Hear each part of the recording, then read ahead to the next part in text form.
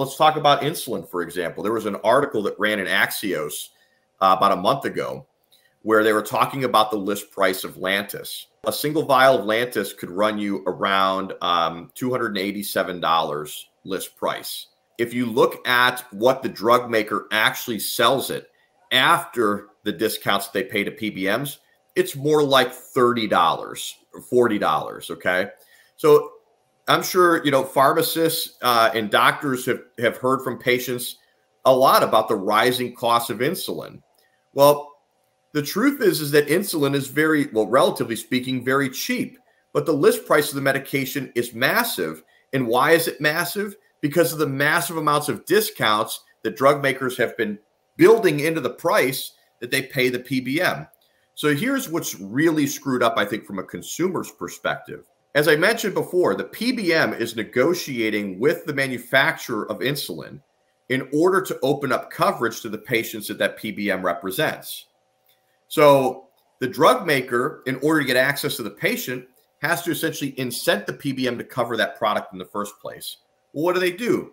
They have big discounts that they pass through to the PBM. So if you're a patient and your PBM has collected a discount or a rebate that's equivalent to around $250, $240 off the list price of that medication, how can the PBM require you as a patient to pay $287 for that product when on your behalf that PBM, that same PBM collected 240, 250 from the drug maker when you got that prescription filled?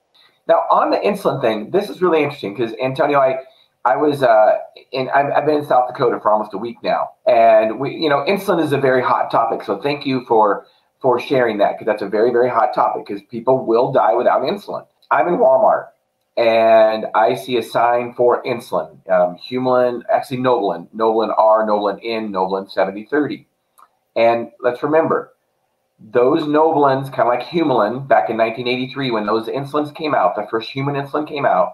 In fact, the first insulins that came out, pork and beef insulin, back in the 20s. They were all over the counter. They were not prescription. So Novolin N, Novolin R, Novolin 7030, Humulin N, Humulin R, Humulin 7030, they are non-prescription. You can go up there to the pharmacy and buy it without a prescription. Now, unfortunately, some pharmacists aren't educated on that. So you have to educate them as a consumer and let them know that it's not a prescription. Just read on the bottle. It doesn't say legend drug. Just read on the bottle.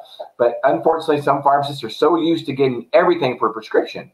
Why are they? pharmacists are so used to everything being billed to insurance. And when something is billed to insurance, it has to be prescription. Over the counter drugs is not are, are not covered on insurance. They're just usually not. There's exceptions. But so guess what? Guess how much a vial of Novolin is if a patient comes in and buys it cash across the counter? $24.98 at Walmart. $25 a vial. So when we want to talk about the price of insulin, it's not the price of insulin that's expensive. Just like you said, just like you said, it's not the insulin's like 30 or 40 bucks.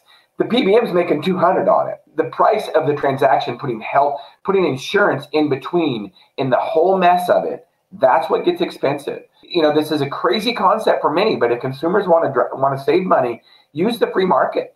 Um, buy insulin cash, and you will be better off